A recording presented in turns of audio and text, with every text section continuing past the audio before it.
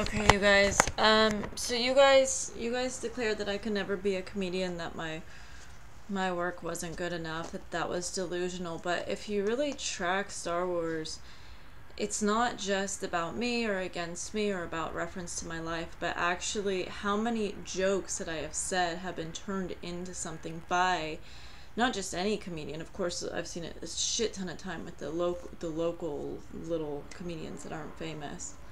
They steal shit all the time, but the A-listers of comedy, which is like a D-lister for a normal celebrity, but still, um, you know, secret for comedy, but the top of their game, famesies, famesies have coaches, have writers, have teams for for their comedy, and still my jokes, my jokes, are making it to um, all over TV, all over um, writing that you've seen all over sketches and cartoons and, and with big actors and all that. Um, so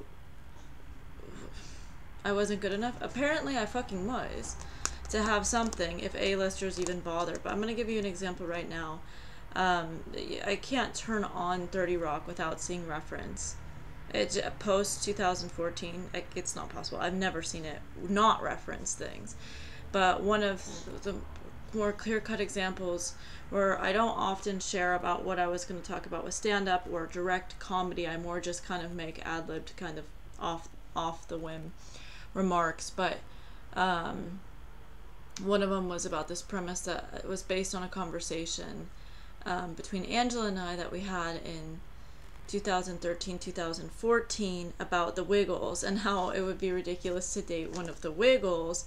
And we referenced the purple, you know, purple indigo, you know, um, and then you'd be like, it's not indigo. And I was like, okay, it's a fucking joke, dude. We also didn't date him, um, dating the Wiggles. And then, you know, 2020, we see this on 30 Rock, this exact thing, dating the blue wiggle. There's no purple one in theirs. Yeah, but the blue indigo is the whole punchline. So, and the whole thing of that, and the ridiculousness of that, and um, I'm just wondering, like, well, first of all, it shows.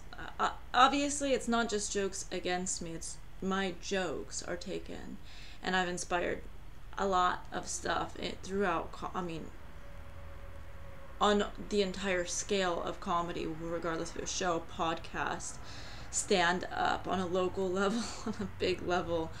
Um, it doesn't matter, and it's not just haha we're making jokes about her. It's we're stealing her jokes, and we're putting it on the big screen, and we're using huge Hollywood names to do so. I mean, it, so I think the proof is in the pudding. But also, I was wondering, like, are any of you ever gonna give me royalties? Like Tina Fey, I've basically handed you like so much for nothing.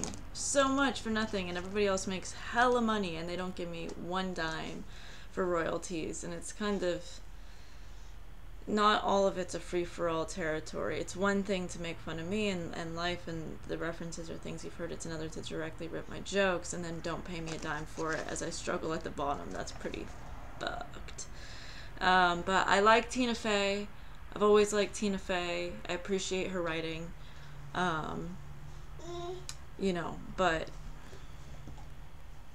anyways, I'll give you an example of uh, in this it's they're called the Woggles, and he's blue when she dates him. Well, it's hugely fucking different. Um, on a show that notoriously makes reference on every episode. So here we go, you guys. Check it out below.